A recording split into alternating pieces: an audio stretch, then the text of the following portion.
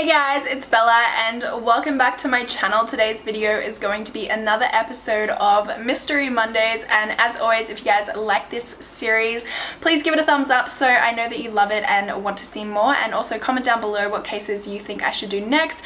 Also, I would love to hear what you guys think about this case once I've like told you everything about it. I would love for you guys to comment down below, let me know what you think of the case, what your theory is. So Today's case is really interesting. Actually, a lot of people think that this was an accidental death and that it like wasn't murder, but then a lot of other people, me included, think that this was actually a homicide.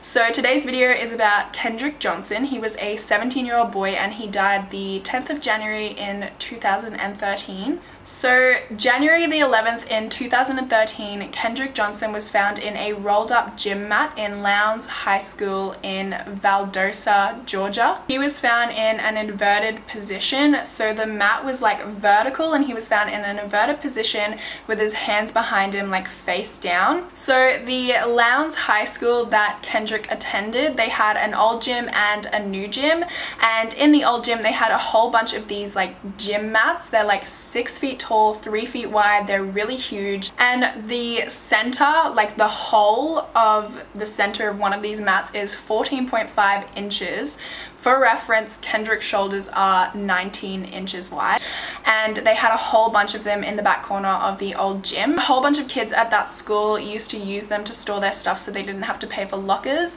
and Kendrick was included. Him and his friend both had this pair of shoes that they shared and they would just leave them in one of these mats um, and just get them when they needed them. So on January the 10th at around 1 p.m. surveillance cameras that they had at the school saw Kendrick walking into the gym, the old gym, and no one followed him into the gym for another three minutes. It's also important to mention that the two surveillance cameras that were in the gym also seem like they might have been tampered with and they were also missing a lot of footage. So in the surveillance footage of Kendrick going in it shows him like going in and there's like this other kid in the frame.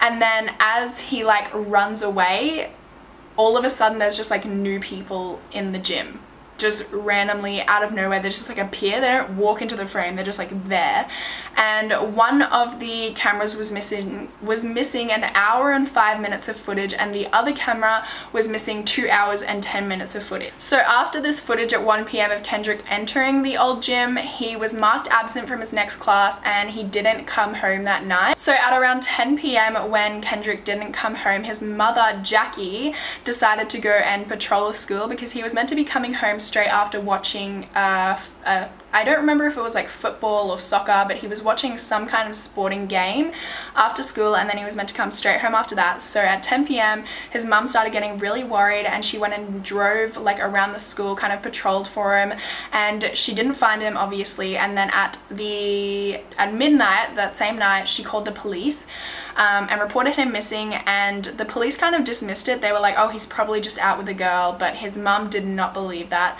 So the next morning she went into the school and talked to the receptionist. They started printing out coloured flyers to put up to see if anyone had seen Kendrick because his mum thought that he was missing and that's when she found out that Kendrick's body had actually been found in the old gym in one of the mats. So at 10.30 that morning there was a group of students in the old gym and they were sitting around the mats when they realized they could see a sock sticking up at the top of one of the mats.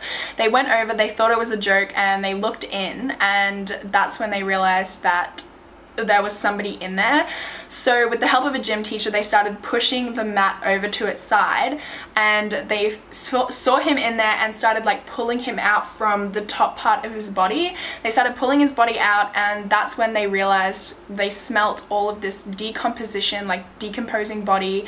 They saw blood and they saw vomit and that's when they realized that this guy, Kendrick, was dead they a whole bunch of them called 911 and the gym teacher moved all of the students into the new gym so they didn't have to see it. After this the school went on lockdown. They informed Kendrick's mother that they found his body in an inverted position and it had been there for about 21 hours. So the Lowndes County started an investigation as soon as they heard of this dead body. They interviewed everyone that was in the gym and all of their stories lined up. Around Kendrick's body they also found some schoolwork paperwork, like his physical science book.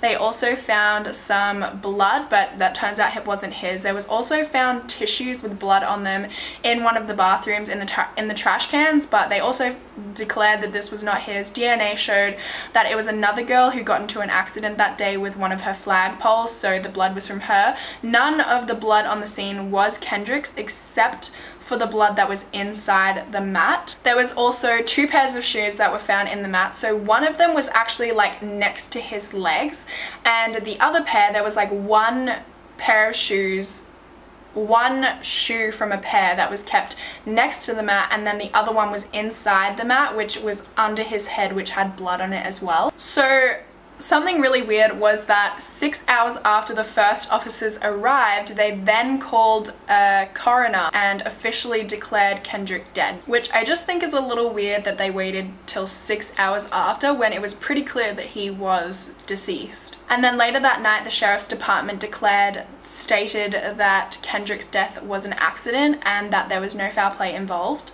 The sheriff believes that Kendrick reached in to get his shoe and he fell in through the opening. He got stuck and then he died from asphyxiation by suffocating to death. He says his body was stuck vertically which caused all of the blood to rush to his head and he was also like the position that he was in was really tight so it kind of acted like a cocoon around him and suffocated him. The Johnson family did not believe that the sheriff's theory at all. They thought that their son was murdered. There's enough evidence to show that Kendrick was murdered. They know something happened in that gym and they don't want it to come out. So the next day they hired their own private investigator. His name was Floyd Rose and they hired him to do his own separate investigation into Kendrick's death. The parents say that it's it was basically the sheriff's theory was impossible for him to just fall in the opening because the opening was only 4.5 inches wide and Kendrick's shoulders were 19 inches. So how do you just like fall in a gap that is smaller than you. He was also, they also think that his feet were tall enough that his feet should have been sticking out, which is how they found him because they saw his socks sticking out.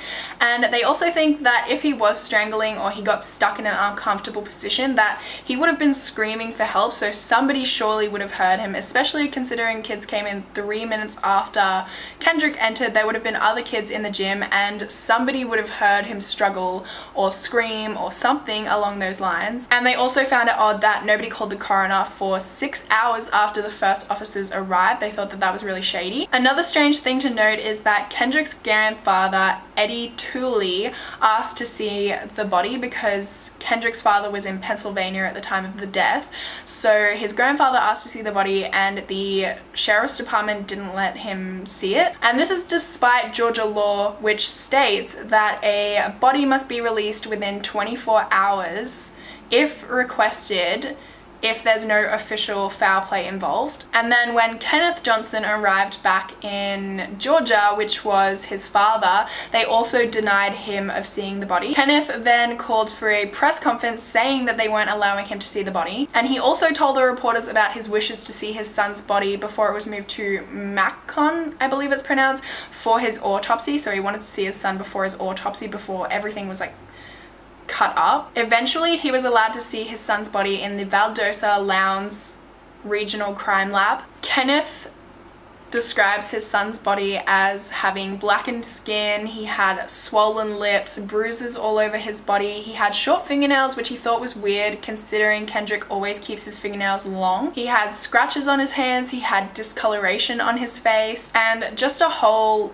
lot of injuries all over his body. The autopsy that was then performed supported the sheriff's theory. They said that he died from asphyxiation and then Ken Kendrick's body was then moved back to Valdosta. The man who transported the corpses signed off on saying that all of Kendrick's clothes were with him. He said that there were three t-shirts, a black pair of shorts, a pair of pants, boxes as well as a pair of socks. And he said all of this was with the body when he was transporting the body from Macon to Valdosta. So Georgia law states that all of the items that were found with the body must be returned back to the family. So all of these items should have been returned back to the family, but all they received was a pair of broken earphones. Basically, the family didn't think much of it. They thought that it might have contained some evidence that indicated there was foul play involved, so that the police must have just kept the clothes for the, that reason. They thought that it had some sort of DNA evidence or had some evidence that there was a form of resistance which supported the family's theory so they just didn't really think much of it they just thought that there was a reason the police were keeping the clothes so in June 2014 the Johnson family asked Dr. William Anderson to exhume the body and have a second autopsy have a second look at the body because they did not believe the first one that basically said that asphyxiation was the cause of death. When the body was exhumed, they found out that the body had been stuffed with newspaper and normally when a body is stuffed, they stuff it with cotton or sawdust. The family was not happy about this to say the least um, and the sheriff's department said while it's not really the best practice that they the funeral home really didn't do anything wrong or illegal. So the funeral home also stated that they weren't given any organs by the police and the police said that the organs were destroyed by a natural process and then discarded. And it was also later revealed that the clothes that he died in were missing. So anyway, the second autopsy that took place by Dr. William Anderson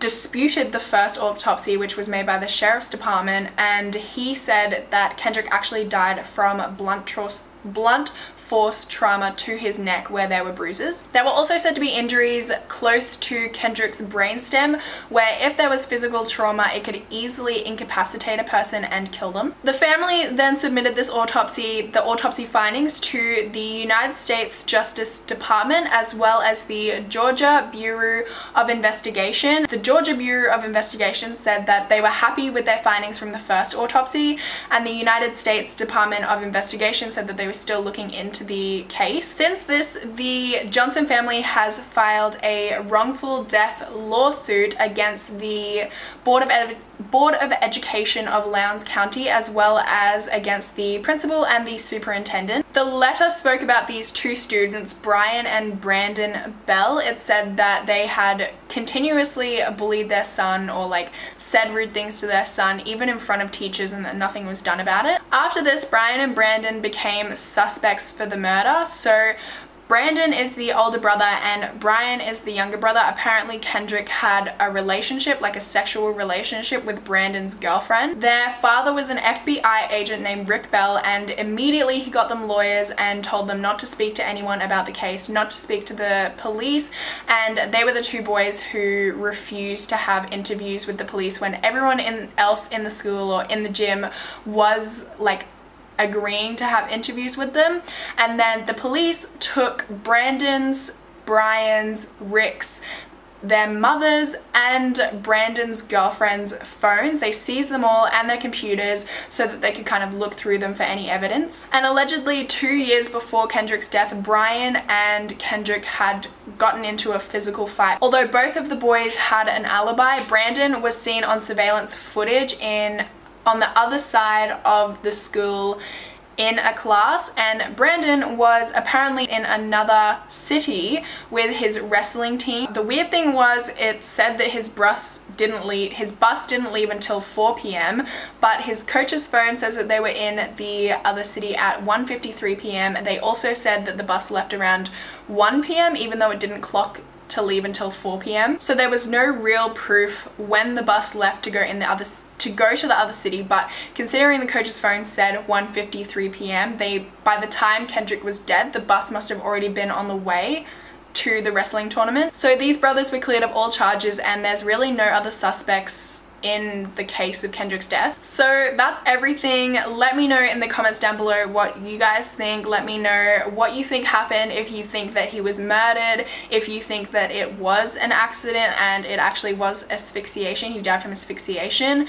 I personally think there's too many things that show that he was murdered. Like for instance, somebody would have seen him fall in, somebody would have noticed that he didn't come out. I'm sure he would have screamed if he did fall in and somebody would have heard that.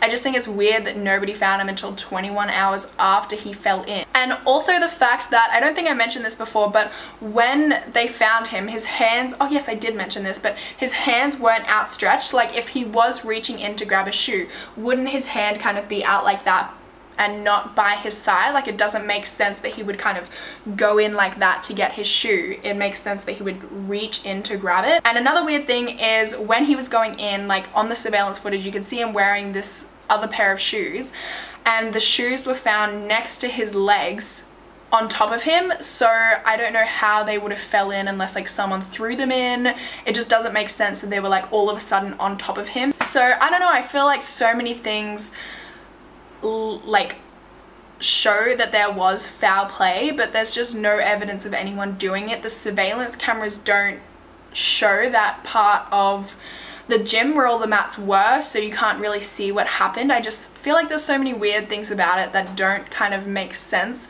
that he died of asphyxiation especially. I'm not going to show the body in this but I will link a clip down below where you can see a footage the crime scene which also shows his body. I'll also link a photo down below which they are very graphic so do not click on them if you don't want to see graphic things. I don't want to put it in this video just because it is quite graphic but in those photos and in that video you can see that he does have like so much swelling to his face and like bruises everywhere and so many injuries and scratches on the back of his hand, like so many things that don't add up with just dying from asphyxiation. I don't know, I have no theories on who did it because as I said, there's no other suspects in the case. I definitely think that there was foul play involved, so let me know what you guys think in the comments down below, what your theories on this case are, and as always, I hope you guys enjoyed this video, and hopefully I will see you guys in my next one. Bye!